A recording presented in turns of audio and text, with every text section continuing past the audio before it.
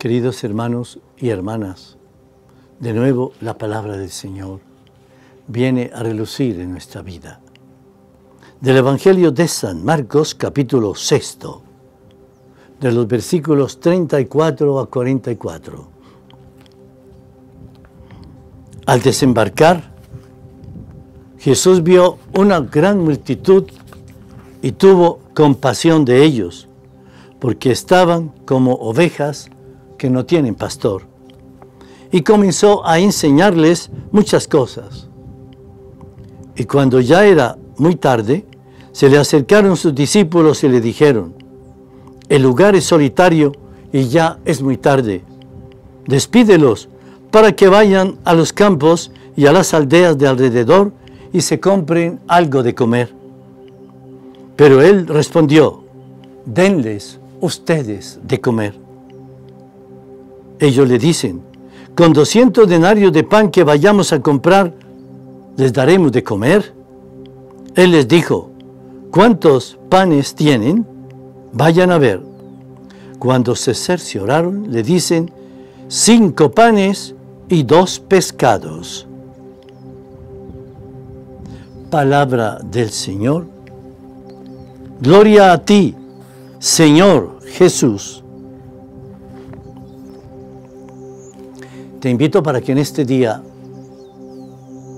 con la luz de la palabra del Señor, veamos dos cosas muy importantes. La primera es, Jesús tiene compasión. ¿Cómo nos hace de falta la compasión? Hoy cuando solo miramos los resultados, las eficacias, ¿quién puede tener poder? ¿Quién sirve? Hoy Jesús tiene compasión de los que están con hambre, cansados, agobiados, y tiene compasión. Es decir, los mira, los tiene en cuenta. Qué importante eso. Cuando el Papa Francisco ha insistido en que estamos en un momento donde desechamos a muchos. Él dice la era del descarte. Es decir, aquel que no nos gusta, aquel que no nos sirve, aquel que no nos da la medida, vaya, lo descartamos. Que se hunda en el mar de la indiferencia. Y resulta que eso no es cristiano, porque Jesús lo muestra ante la multitud, tiene compasión.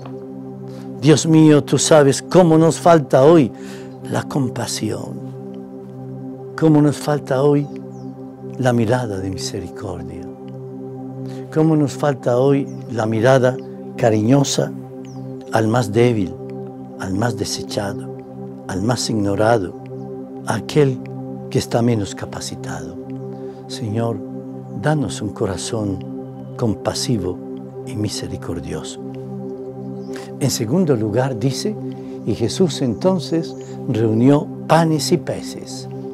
Es Jesús que en este gran plasmado del mundo, nos sigue dando a diario la alimentación suficiente para todos, pero que debe ser compartida, que no debe ser precisamente acaparada. Señor, cuánto tenemos que aprender de ti. Hoy, Señor, al menos ayúdanos a ser compasivos y misericordiosos como tú. Nos bendiga el Señor en el nombre del Padre y del Hijo y del Espíritu Santo. Amén.